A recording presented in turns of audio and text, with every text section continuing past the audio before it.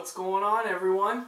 Welcome to the epic episode 5 recap of Big Brother Canada Season 2. Arisa's dress was tight. I mean, so tight that she couldn't move. Okay, forget about Arisa. Let's cut right to the chase.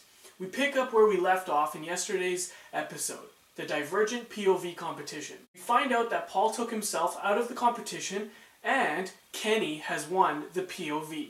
I have never seen four dudes get so excited for a music CD. Yeah, after the POV competition, Arlie, Kenny, John, and Andrew head up to the HOH room, and Andrew gets the Divergent soundtrack, and the guys all huddle up and cheer. Kenny, Arlie, and Andrew solidify the plan, which is Neda comes down and Kyle goes up on the block.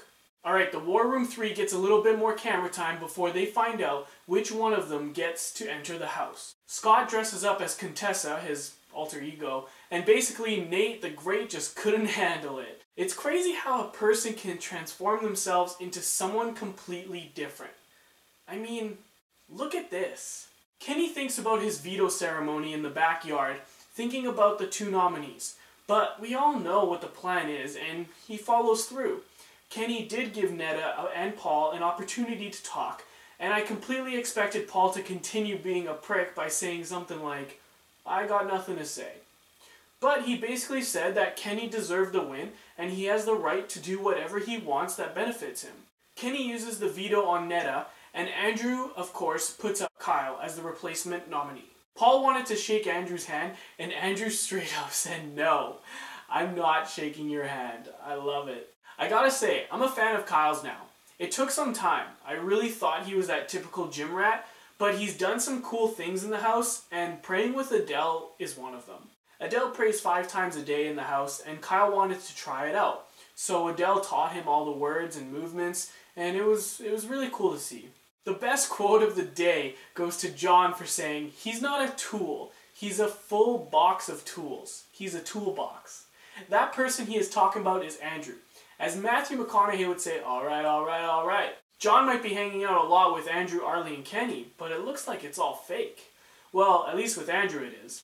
He tells Neda this, and Neda also doesn't like Andrew. Neda says whatever Sabrina is doing is all for her game and that she doesn't actually have a crush on Andrew. They also mention that they really like Kyle and they would rather keep Kyle in the house since he is Andrew's biggest threat.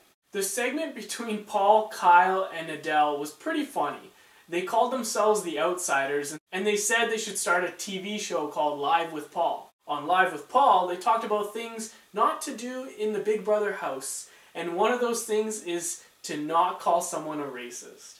It was pretty cool to see those three guys really having some fun. Most of the house guests were chilling by the hot tub and Sarah noticed Kyle was by himself. So, she decided to sit beside him and they talked for a bit. It seemed like they bonded and slowly but surely, Kyle is gaining trust in the other house guests. Could he actually stay over Paul? I'm crossing my fingers. We've reached the halfway point in the episode and the voting is about to begin. In case you missed it, John had a shoulder slinky around him and no one mentioned why but I know why. His shoulder actually popped out when he was swimming. There might be a bit more to it, but I heard he was in a lot of pain. Alright, back to the vote.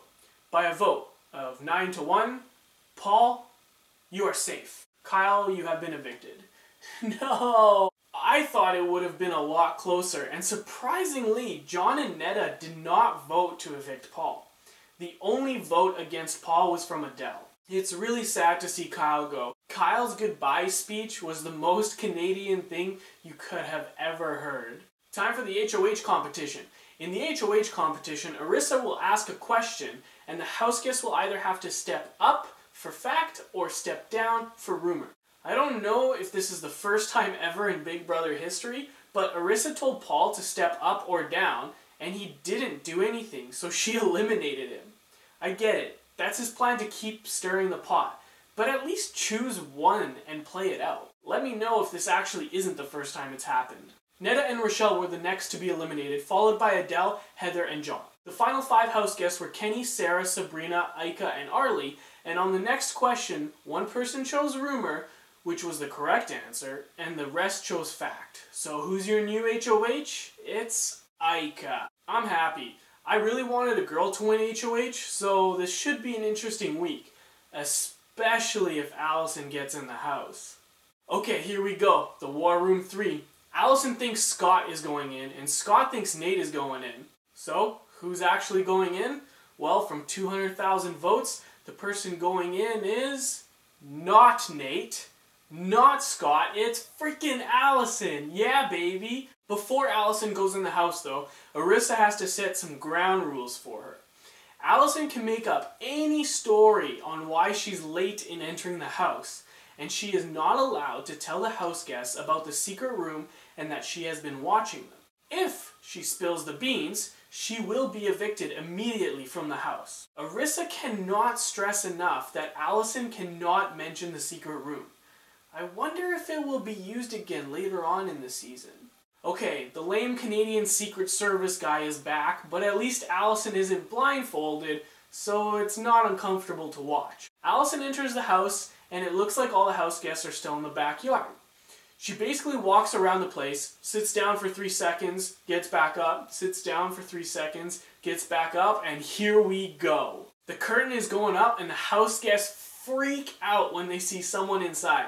And Allison played it perfectly. She's like, What? You guys are here already? And Kenny has this huge WTF face, and he's like, Uh, yeah, we've been here for two weeks and everyone is asking her if she's staying, and the episode ends. What an ending. If that doesn't get you shaking in your boots for the next episode, then I don't know what will. Make sure to click the thumbs up below, comment on what you thought about my recap and the episode itself, and don't forget to subscribe. I can't wipe this smile off my face.